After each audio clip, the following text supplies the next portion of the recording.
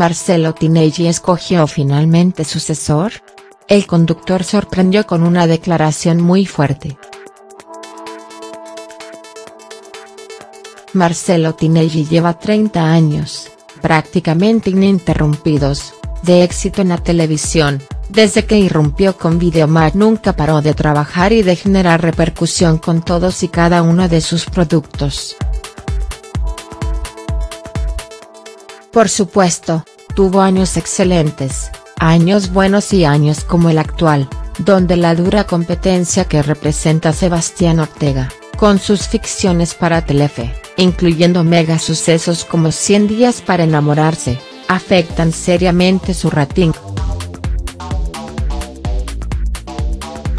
También hay que decir, que Marcelo no recibe, por lo general, el apoyo necesario de Canal 13 porque la serie que lo antecede, Mi hermano es un clon, no funciona como los directivos esperaban y eso disminuye considerablemente el público dejando, como dicen los especialistas, la pantalla fría. Obviamente, para un luchador nato como Tinelli, esos son detalles menores y, en cada misión del bailando se las arregla para generar suficiente ruido, pelea por aquí, pelea por allá, para que todo el mundo hable de él. Pero él mismo también da sus opiniones, y como periodista experto que es, para que no le recuerden el mal momento que atraviesa el bailando y la paliza que le está dando Ortega, ex marido de Guillermina Valdés. Marcelo hizo una jugada inteligente, alabó a un conductor de un programa de la competencia, haciendo notar, de manera sutil, que ese podría ser su sucesor si algún día decidiera retirarse.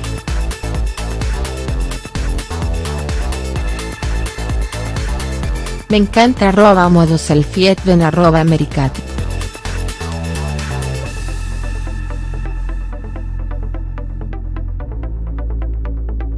Es muy bueno conduciendo arroba Agustín Neglia.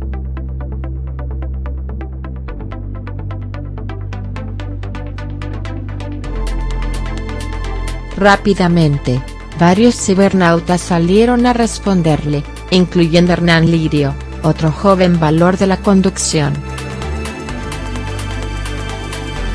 Hernán Lirio, eso es grande porque sabes que un tuea tuyo levanta y pone a feliz a cualquiera y te sobra humildad para hacerlo.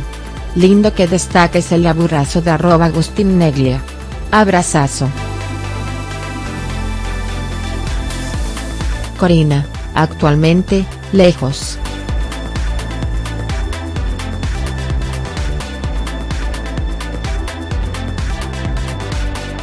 el mejor conductor de todos los programas de viajes.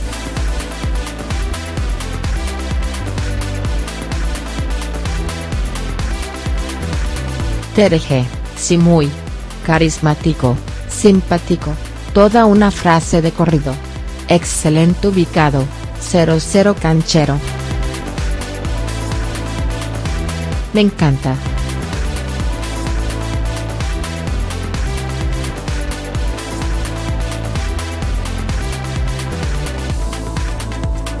Mirta Petty, es muy natural, pero no menos preparado.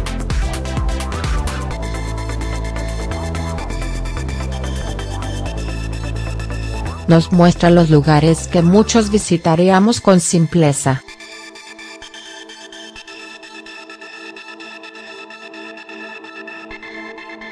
Desde que empezó lo vemos.